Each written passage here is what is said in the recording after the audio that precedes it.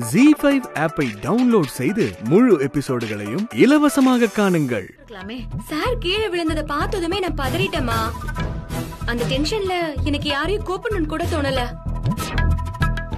அவருக்கு உதவி பண்ணி நான் அவரை உட்கார வைக்கணும்னு நினைச்சேனே தவிர வேற எதையுமே நான் யோசிக்கலமா யோசிக்கணுமா இல்ல? நாம யாரு? நம்ம யாருக்கு உதவி பண்றோம்? நம்ம சூழ்நிலை என்னன்னு எல்லாமே யோசிக்கணும். சட்டுன்னு அவசரப்பட்டுட கூடாதுமா. என்னம்மா பேசுற நீ?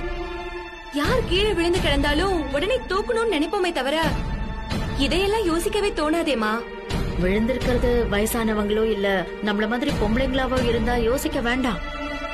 ஆனா விழுந்தது ஒரு சின்ன வயசு பையங்கிறப்போ கொஞ்சம் நிதானமா தாமா இருக்கணும்.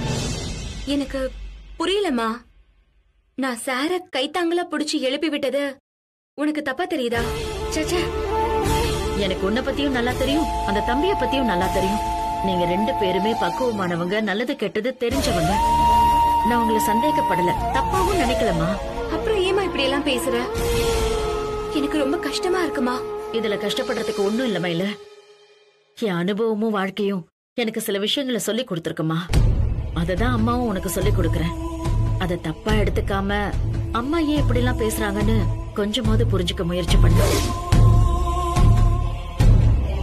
தம்பிக்கு மேல இருக்கிற விருப்பம் உனக்கே தெரியும்ல?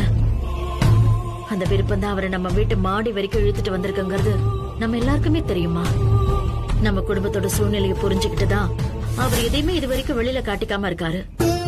ஆனா இப்ப நீ இப்படி போய் அவருக்கு நெருக்கமா உதவி எல்லாம் செஞ்சனா அவர் திரும்பவும் சஞ்சலப்படுவாரு மனசு தடுமாறுவாரு அது உன்கிட்ட வெளிப்படுத்துவாரு. அது உனக்குதான் பெரிய சங்கடமாயிடும். ஆயிடும்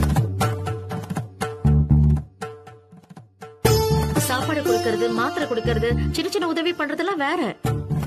ஆனா அதை தாண்டி நெருக்கமா போயிடக்கூடாது மயிலு. நம்மளோட எல்லை எதுன்னு புரிஞ்சு நாம தள்ளி இருக்கிறது தான் நல்லது மயிலு.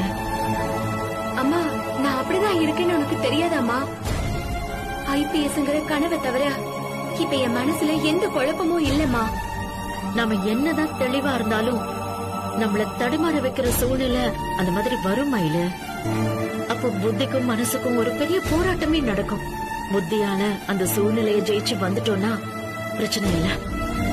ஆனா மனசு பலவீனமாகி நாம தோத்துட்டோம்னா வாழ்க்கை முழுக்க அது பெரிய உறுத்தலா மாறிடும்.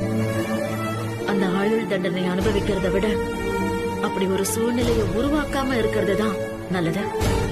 ஜி ஆப்பை டவுன்லோட் செய்து அனைத்து எபிசோடுகளையும் இலவசமாக பாருங்க.